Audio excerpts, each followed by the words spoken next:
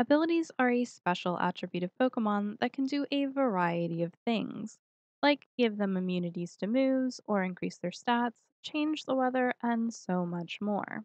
Each Pokemon has access to at least one ability based upon its species. Some have access to two abilities, although each Pokemon can only have one active at a time. If you want to swap a Pokemon's ability to the alternate one, you can do so using an item called an ability capsule. Beyond this, there are also hidden abilities, rare attributes that are sometimes available on Pokemon from Tera raids in Scarlet and Violet.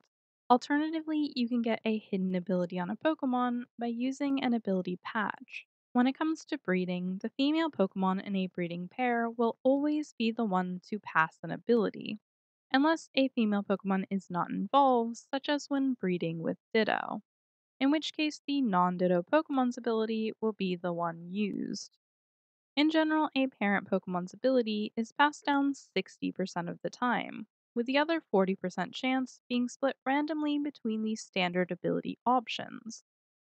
In practice, this means that if a species has one standard ability which the mother owns, then the child will 100% receive this ability. If the mother has the species hidden ability and there is only one standard ability, then the child has a 60% chance of receiving the hidden and a 40% chance of the standard. If the species has two standard abilities, then the child has an 80% chance of matching the mother's ability and a 20% chance of receiving the alternate ability. If the mother has the species hidden ability and there are two standard abilities, then the child has a 60% chance of having the hidden and a 20% chance of each of the two standard abilities. If you have a hidden ability on the father and a normal ability mother, then the hidden will never pass down. It must be on the mother when breeding a male and female together. To get around this, you'll be forced to use a ditto. When breeding with Ditto, simply replace the mother in the scenarios with the non Ditto Pokemon, and all of the rates are exactly the same.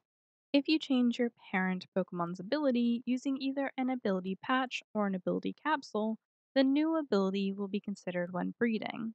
This is very different from things like bottle caps and mints, which are temporary changes affecting only the parent. Whatever ability is active upon breeding is considered the Pokemon's real ability. If you need any assistance with breeding, comment below.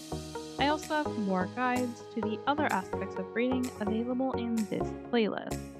Thank you for your time. I hope you have a lovely day.